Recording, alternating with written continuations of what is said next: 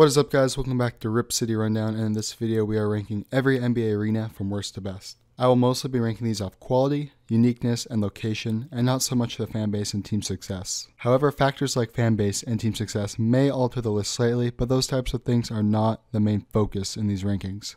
Okay guys, let's get started. For the worst stadium, we got the Target Center, where the Minnesota Timberwolves play. Yeah, we in Minnesota now. That is right, Cat. We are in Minnesota, and honestly, uh, the, your stadium is washed. Simple as can be. This place was opened in 1990. The layout is pretty ugly, and it doesn't help that they struggle to fill seats given how trash the T-Wolves have been in recent years. I don't know what else to say, guys. I mean, this stadium's on the bottom of almost every NBA ranking list, and I, I feel like the dark blue is just the cherry on top, just giving it a depressing kind of vibe. For the second worst NBA stadium, we got Smoothie King Center. This is where the New Orleans Pelicans play. I think that's how I pronounce it. Um, built in 1999. So very old stadium. Well, not very old, but let's be honest, it looks older than that by looking at the inside and outside of the arena. It is the smallest NBA arena. The capacity is in the 17,000 range. And even with it being that small, they can still not find a way to fill their seats, thanks to the Pelicans being a trash team. At number 27, we have Gainbridge Fieldhouse Stadium. This is where the Indiana Pacers play. This stadium was also built in 1999. Might be ready for some renovations here, but um, I mean, this stadium isn't even that bad. It's just that its competition is so hard. I mean, if this is the third worst stadium, that shows how good NBA arenas are, unlike NFL arenas, which have to play in baseball stadiums sometimes. At number 26, we have Capital One Arena, where the Washington Wizards play.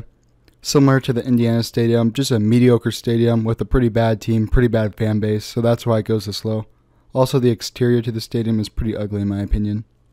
At number 25, we have State Farm Arena. This is where the Atlanta Hawks play. Not much to say, just a mediocre stadium with a pretty trash team, but hopefully Trae Young can turn the franchise around. I really like their court design though, I will say that. The outside's pretty nice, but look at that. Mercedes-Benz Stadium. What a beast right next to this hunk of junk. Yikes. Welcome to Memphis, Tennessee for number 24. Nothing really bad to say about this stadium. It's kind of old though. Team hasn't been successful. It's underwhelming. The gray kind of is depressing. I understand it's the team colors, but they could have done better. The stadium just reminds me of the city of Memphis itself. Speaking of, let's get out of here before we get shot. Number 23, Wells Fargo Center. Not much to say about it. Pretty old, mediocre stadium. Doesn't have much pop to it. Built in 1996. Looks like they're playing the Heat game four in this picture. Believe Philadelphia won that game. But anyway, I mean, it's similar to the stadiums before this one.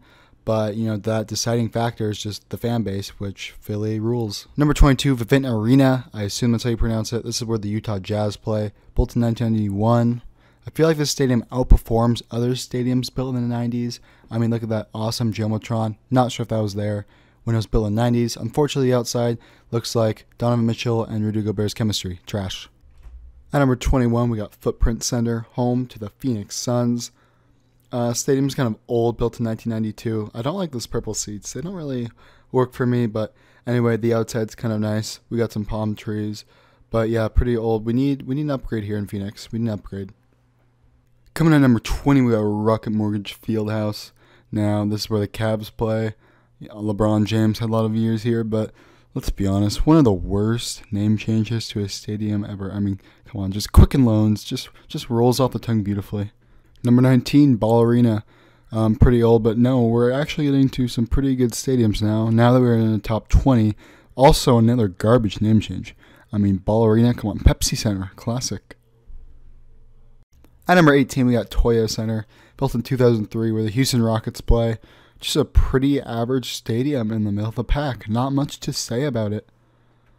For number 17, got Spectrum Center, where the Hornets play. As you can see, as we're moving up in the list, these stadiums are getting a little bit newer year by year. This one being built in 2005. Number 16, that's right, we're getting low, guys. We got AT&T Stadium, or AT&T Center, I should say, where the San Antonio Spurs play. Um, the stadium actually has a bat problem. Many times in NBA games, bats have been flying around in the arena. Very interesting.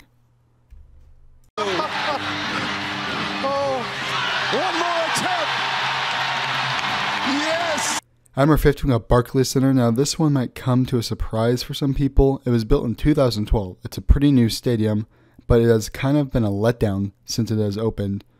Also, the Nets have sucked as a franchise, and they can't even sell tickets during playoff games. Playoff games.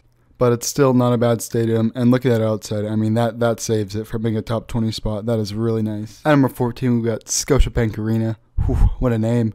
Um, location of this stadium is phenomenal in downtown Toronto, right on the bay, right next to CN Tower, one of the tallest buildings in North America. And yeah, this stadium does well sneaking into the top half, especially being a stadium built in the 90s. Also built in the 90s, same year actually. FTX Arena located in Miami. I'm going to say this one has slightly better location though because it's located right in the Miami Bay, right next to downtown Miami, the skyscrapers, but just one bridge length to Miami Beach. All right, number 12, United Center. Um, this one's kind of a classic stadium, built in 1994. Chicago Bulls play here. Yes, Michael Jordan was in my head when we're making this ranking system, but I mean, it's still a really nice stadium. I mean, it's classic, and it is the biggest NBA stadium with a capacity of 23,500. Just missing out in the top 10, we have Paycom Center in downtown OKC.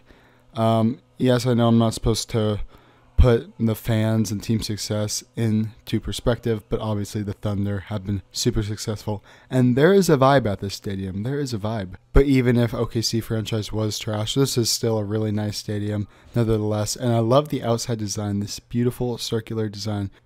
Entering the top 10, we got American Airlines Center, built in 2001, where the Dallas Mavericks play. Despite the stadium's kind of old, everyone seems to love it. It's one of the most highly rated stadiums in the NBA. And obviously, Dallas has great fans and has been a successful team since the stadium has opened. At number 9, we got Moda Center, home of the Portland Trailblazers. Yes, we are Rip City Rundown, so there might be some bias in this one, but Moda Center is always ranked in the top 10 and really high on so many NBA arena tier lists, ranking lists. I mean, it's crazy. The stadium has aged really well despite being nearly 30 years old, and the location of the stadium is beautiful in downtown Portland, right on the Willamette River. Perfect spot. At number 8, we got Amway Center. I assume that's how you pronounce it. Home of the Orlando Magic. This stadium is kind of a jewel. It's beautiful. It's new, built in 2010. It is a gorgeous stadium, and it might have been a little higher on the list if the Magic weren't a poverty franchise, but they are, which is kind of unfortunate, but it is still a very awesome stadium. At number seven, we have Crypto.com Arena. No, this is not a top five stadium. This stadium is extremely overrated. I could have easily put it outside of the top 10, but I didn't. It's still a pretty cool stadium, pretty modern, being built in 1999, and it is in the thick of Los Angeles, surrounded by some pretty cool buildings.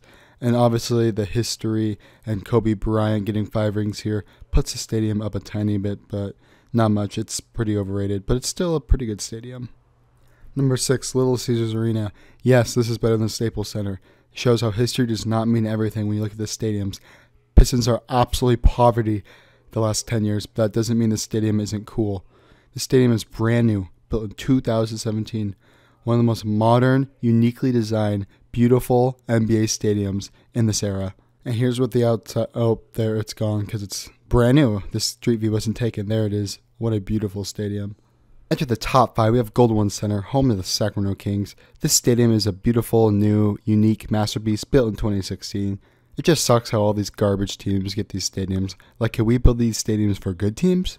So far, the stadium has hosted a team that has never tanked but has never made the playoffs. Like, what the actual heck? How is that even possible? At number four, we got Madison Square Garden. I kind of went old head mode on this one, putting the oldest stadium in the top five, but I had to. It's so historic, it's so classic even though the Knicks are trash, this stadium is beautiful and it is in the heart of Manhattan, right next to Times Square. One of the best locations the stadium could be in.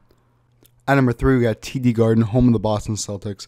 I went absolutely old head mode putting this one in the top five, but I did. It's historic. Let's move on to number two. Taking the silver, we have Pfizer Forum. I assume that's how you pronounce it, home of the Milwaukee Bucks.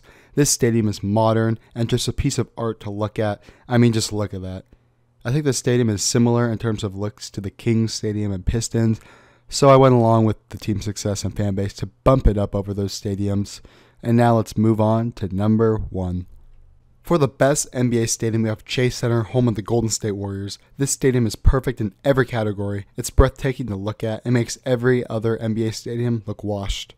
The location is stunning right along the San Francisco Bay in downtown San Fran, And for the cherry on top, it has one of the best fans, selling out every game, having the highest ticket prices, and having one of the most successful teams in today's game.